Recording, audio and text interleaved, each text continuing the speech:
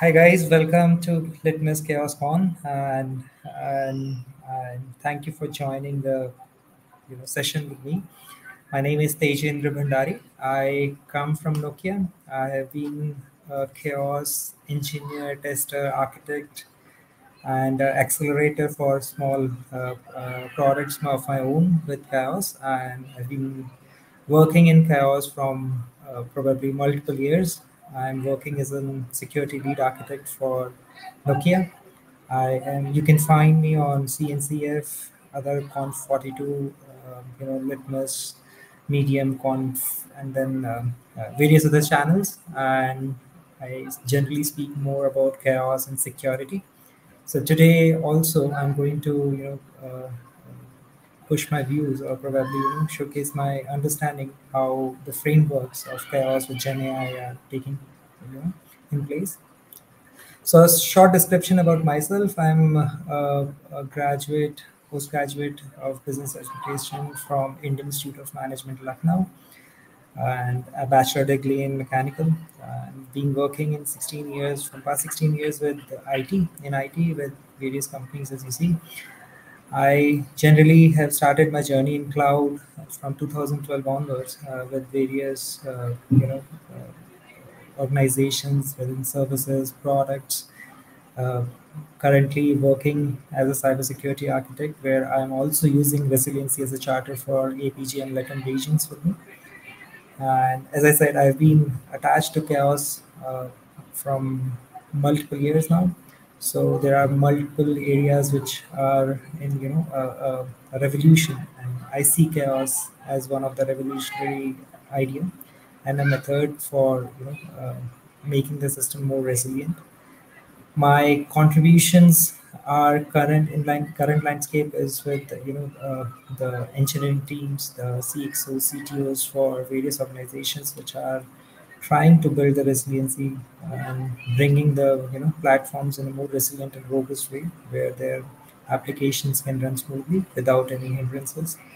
So those are the you know uh, contributions i've been working with a lot of media uh, bfsi and uh, air force and government organizations uh, for various uh, you know, uh, countries for chaos and resilient areas. And currently, as I said, I've been working with R&D and engineering team with DevOps and majorly contributing towards you know to creating an application or a product which can actually uh, are built with you uh, their cell phones. So uh, moving on, what do you expect from this presentation today? I'll have this presentation in a very quick format for chaos because we all are aware as, as i understand we all engineers are aware of what is chaos these days and why are we here? And what is there in this presentation is basically how i have leveraged gen ai and created chaos as an you know uh, a set of experiments with their inbuilt uh, knowledge and experiments within the system and how we are using it how we are reducing the um, you know uh, noise in the system and also uh, parallelly you know uh, uh, creating a creating it for you know uh, uh, towards the larger landscape of the organization when i say larger it is basically multiple services teams can pick it up and then can run it with GenAI. so some of the areas would be focusing on telecom because this project which we are right now I will showcase the you know frameworks is being utilized towards the project which uh, products which we are working with Nokia in Nokia towards other clients and how can you utilize this uh, information or probably the architecture for your chaos and Gen AI uh, uh, uh, mix. So what is what is chaos engineering? It's a we all know that we, we create hypotheses, we design experiments, we push these experiments towards the system, we learn how the system is responded, and then if there are faults present in the system, how we fix it. So it's a, it's a basic definition, but what is chaos with Gen AI and why do we need it? So does it, you know, sell faster with adding a Gen AI with it, or does it sound attractive as a new age solution? Because chaos itself is a new age solution, but adding Gen AI will help you more. Uh, these are some contexts which you give for a business perspective where you do you know you want to pitch chaos in your organization or your your service based organization to other customers. How do you sell it? Or probably does it make any sense even to talk chaos with gen ai because this is the journey which is getting started with gen ai and it's, it's a beautiful journey when i when i'll showcase you how we are using it and how the architecture look like. It, it will give you more perspective. Do you have more leverage when you see you know finally you are using gen ai with chaos? Do you see more leverage of you know using chaos across organization? Or does it limit us? Does any cost impact happens to this? Or you know any business impacts which you can actually you know portray in a positive or a negative manner uh, to sell this internally because right now we are also building so it may happen to be you know it's a tough sell for customer internal and external both.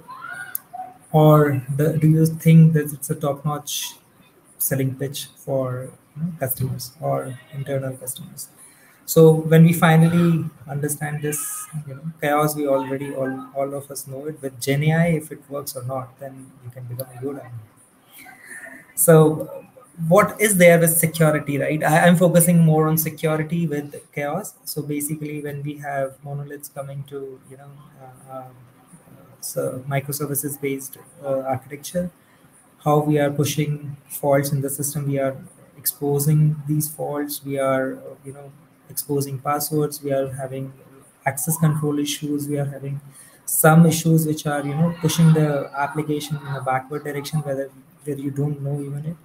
There are some configurations which are missed or there are engineers which are changing the configurations and you do not have any control over it. So there could be multiple vulnerabilities which can expose your application or infrastructure to a threat.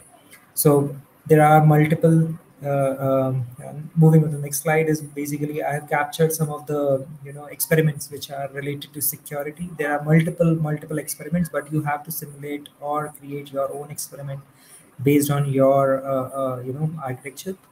So I've just pushed some can, uh, scenarios here. How do you model those experiments, or can you use open source forum or Litmus using the or build uh, you know experiment of your own? So basically, there, there has to be a framework. You can all build experiments and try running these experiments and can you know find some uh, uh, issues with your uh, uh infrastructure layer or application layer, network layer, any layer. But then, how do you use it with Gen AI? So I'm, I'm trying to propose some frameworks where it may help you to you know, build a thought around your uh, landscape because this is something very new which we have tried and started functioning quite well. And we are thinking to you know uh, move in this direction. So do, we do not have uh, you know uh, uh various services to come and ask us. It could be a gen ai you ask about and then it, it pushes your fault in the system and see how these faults are built.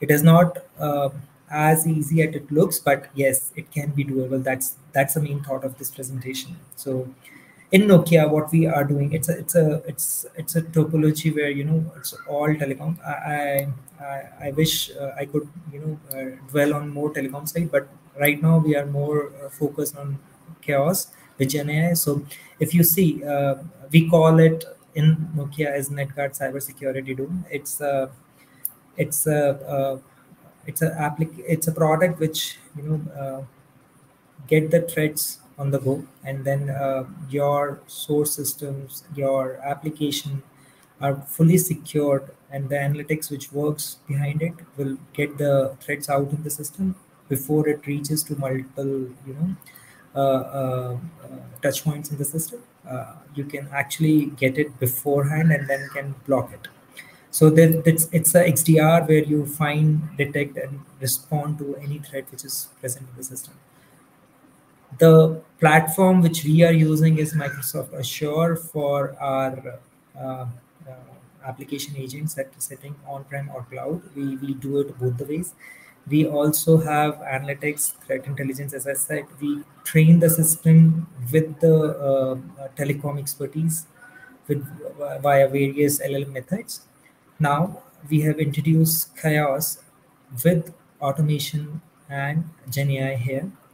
So what it brings it brings basically a, a, a, remedial action or you can say attack into the system where we do generally attack in you know uh, uh, with chaos experiments manually or probably by some automation here we have introduced uh, ai assistant trained chaos experiment. We have feeded the experiments internally and then we are building the assistant to you know uh, learn more and more throughout the experiments its results the outcomes.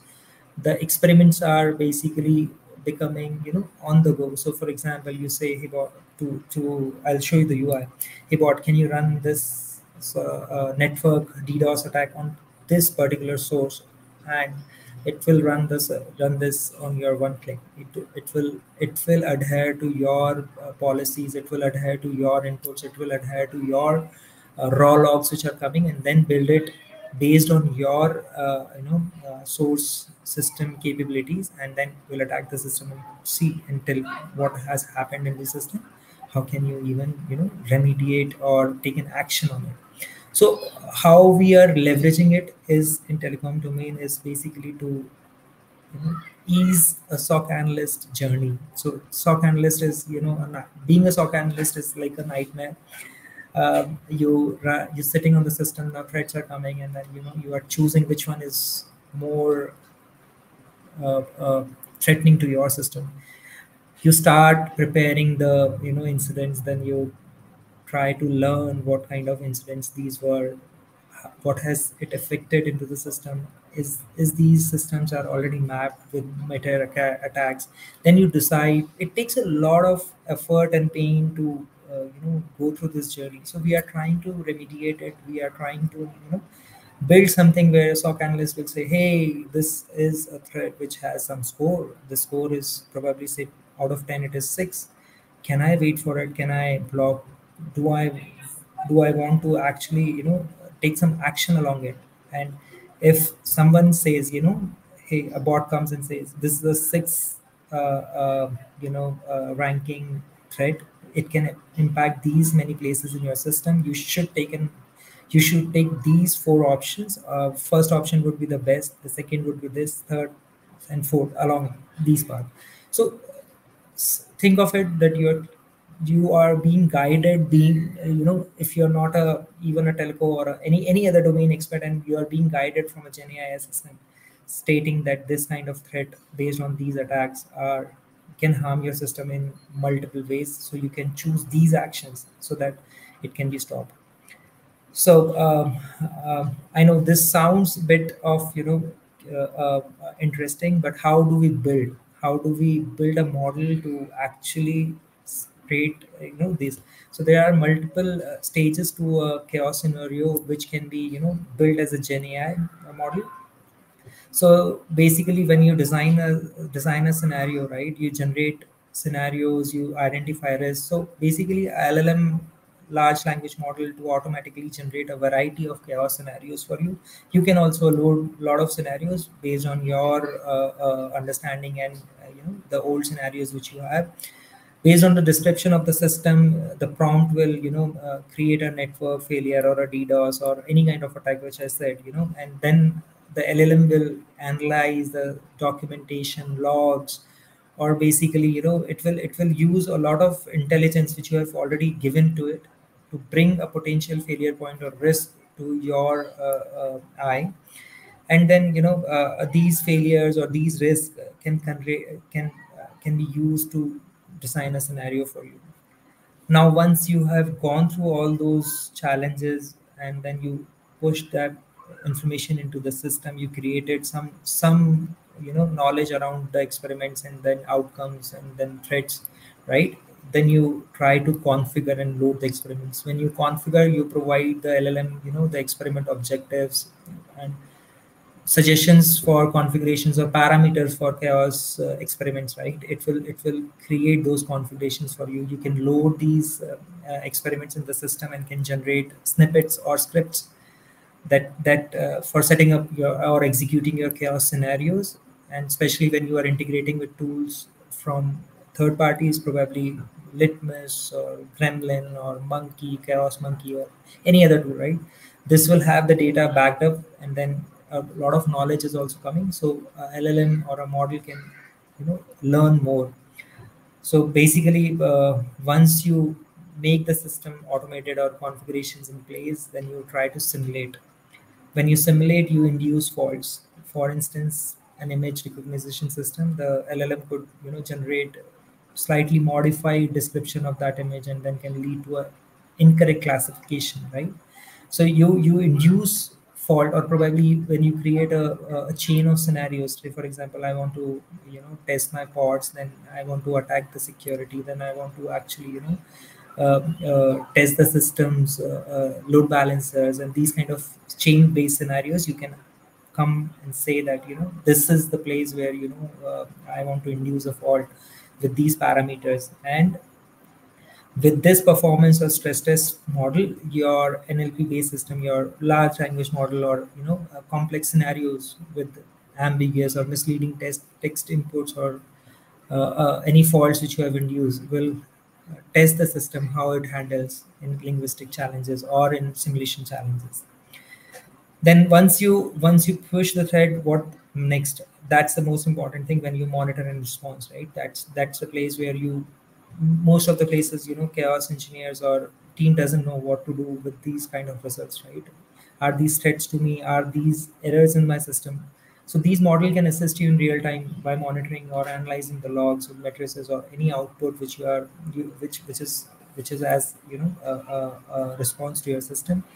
Can detect the anomalies during the chaos experiments. And then for example um, these monitoring logs can identify unusual patterns for you somebody is trying to you know peep into your system which is not usual. So it will try to analyze those situations and can indicate the system is failing or someone is you know uh, malfunctioning or probably you know uh, peeping in your system.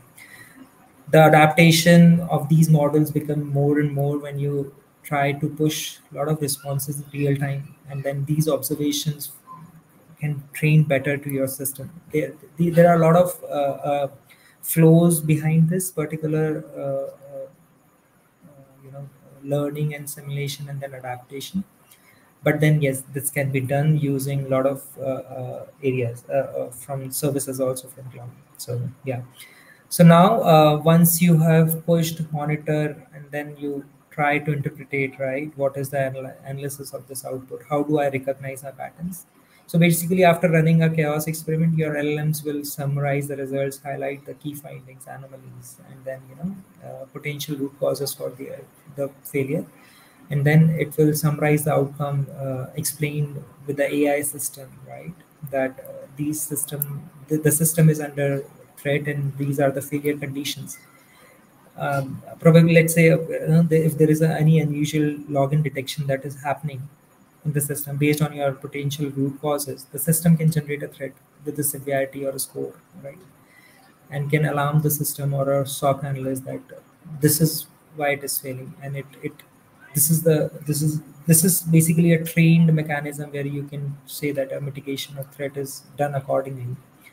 So it will recognize all the patterns. The LLM model is trained in such a manner that you know the patterns can uh, and the rules defined uh, to mitigate, right?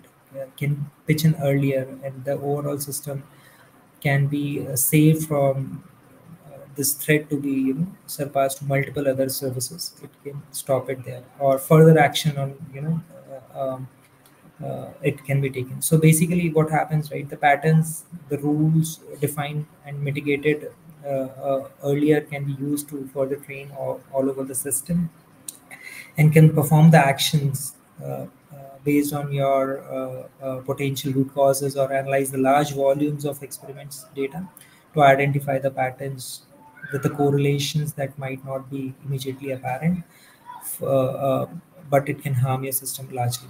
So these this is the way you you model your AI experiments with AI or uh, sorry model your chaos experiments with AI. So now, how are we using it? There is it's a small snippet uh, of our topology where you know we have security twin, security observability. Uh, these are all uh, uh telecom based, uh, you know, uh, PAM, NMS users and all telecom based keynotes, but keywords. But I will try to be a bit simpler. We have chaos with GenAI, as I said. We we use top security use cases to catalog all these specific incidents and response off the shelf. We do a threat scoring, uh, which is static and dynamic both.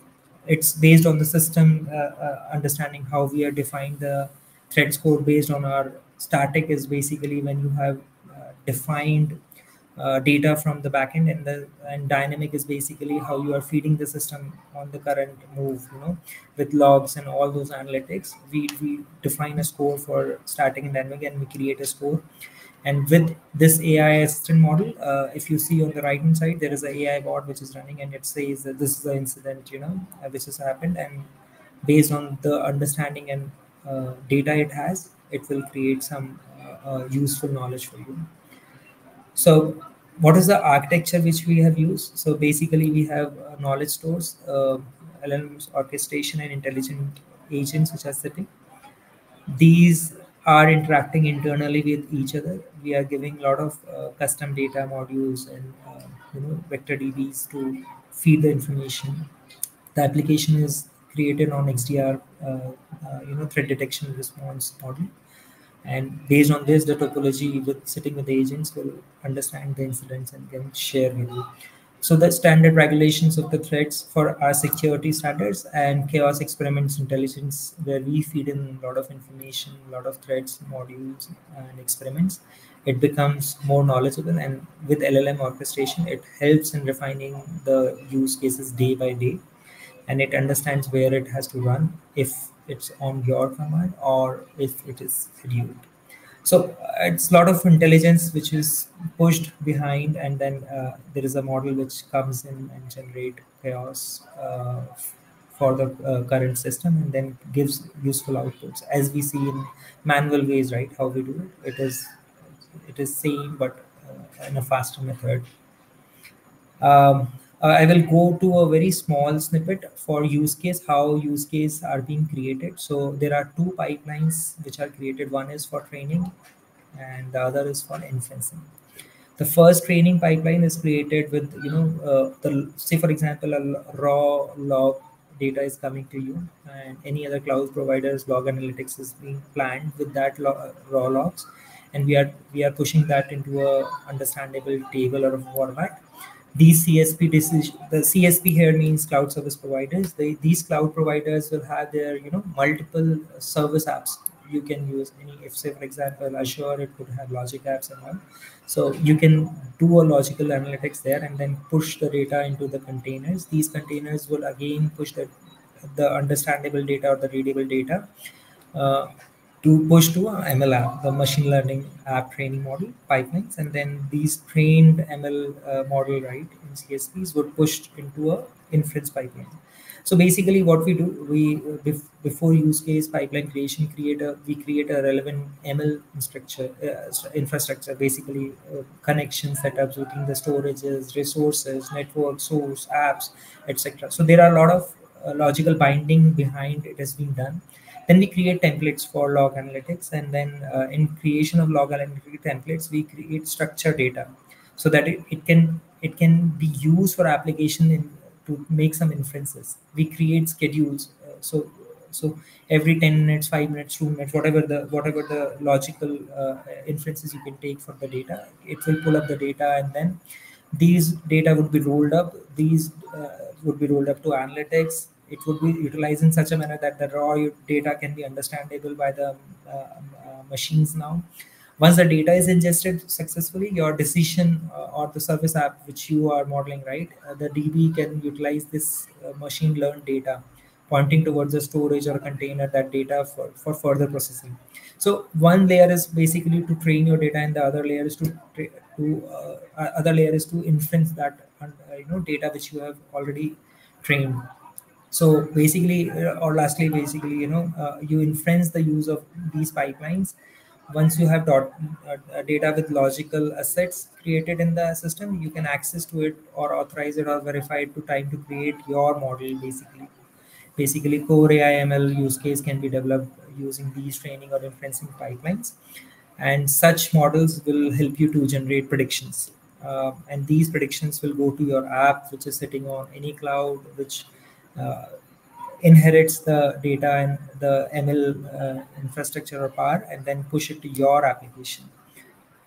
Uh, I I am trying to be a bit simpler because all these are generic. So I am trying to you know push these generic understanding to you so that you can create a case according to you. I think there is a five minutes left. I will not use case this because I have told this basically uh, a threat detection model with uh, how we can inference the data and then create playbooks and then basically take out some reference and uh, you know uh, uh, generate some knowledge to your chaos experiments. So I'll not go through this, but I'll take uh, five minutes for answering the questions. It would be more relevant and interactive. So thank you for you know uh, listening to me and sharing your time with me and let's take some questions now um, so one of yes, the first questions is um, is nokia part of the cncf telco working group so there um, i haven't been uh, in contact with these people because the organization is too vast uh, there are a lot of r&d and because i come from a, a place where you know uh, my my uh, domain is basically uh, security for some of the Nokia products, but the organization is very large. it it could be a part. I'm not sure of it. Okay, no worries.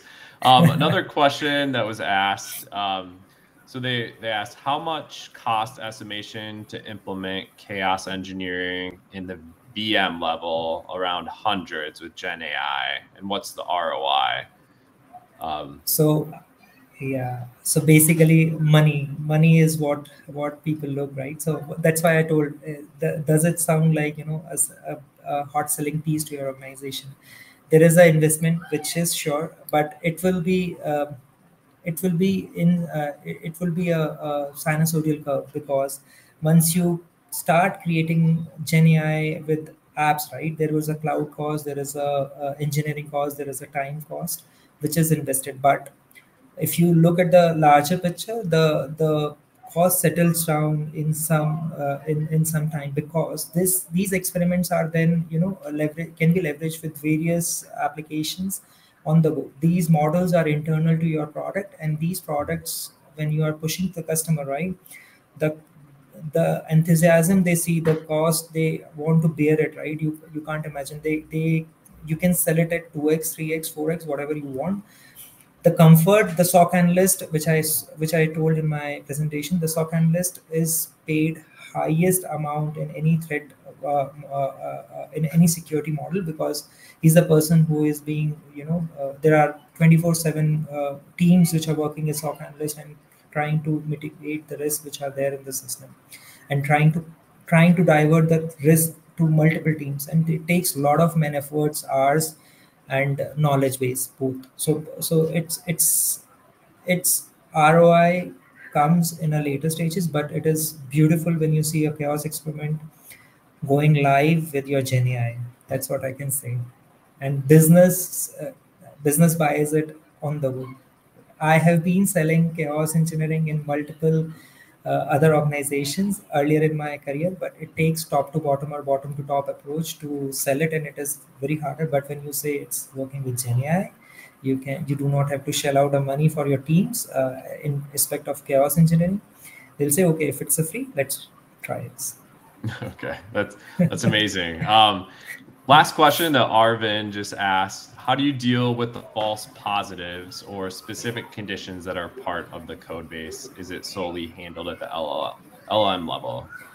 So, uh, good question. So, basically, what happens, right? The false positives is our only uh, method to try the system if it is breaking or not. The false positives in the codes are application level layer. So, what we do is basically we create some threat scenarios which are specifically for applications. So you get a lot of uh, you know falls out of the system in that particular area, and then if, for example, you say this is not a threat to me, it becomes un- learned by the model again. The model will never push it back and say you know this is a very low threat score, and after some time it will become uh, uh, a positive for it. So basically, it would be it would be trained in such a manner that the next time or the fourth time or fifth time it occurs, the system will automatically understand that this is not a threat for me. So the code base also also being you know uh, traversed because the, all the data you feed it to llm right? It it it try to learn it more and more based on your actions. Awesome. That's cool. And we're kind of we're waiting for the next presenters to join back the backstage here. So one question i had you know just you kind of highlighted some of this but you know if you think about nokia in two years like what what do you think that vision looks like from here? What and what you already presented seems so in the future but it's amazing you have it today. Um, but yeah anything in your crystal ball for the future? Yes uh Nokia, the product with Cybertone, uh, which I just presented, it's an awesome product which is a leap ahead from the generations because it works on GenAI and LLM based models, which are trained day by day. A lot of uh, uh, threat models for telecom and uh, generic cases are being trained, and the systems are getting more resilient for, with the threats and secured with the threats so it, it it is basically static and dynamic both ways nokia is you know uh, hitting hard on the uh, threads which are there in the system or coming into the system. So nokia as i see uh, it would be great. But chaos with gen ai i want to love i want to hear it more from other folks that they have they are building something which gen ai can you know help it uh, to move chaos more ahead. Awesome. Well, I love the presentation and the questions. I think we're to have to have like another Litmus webinar on this topic because it's generating so much excitement. Um, but thank you for today and your time. Appreciate it and talk to you in the future here. So thanks, man. Cheers. Awesome. Thank you.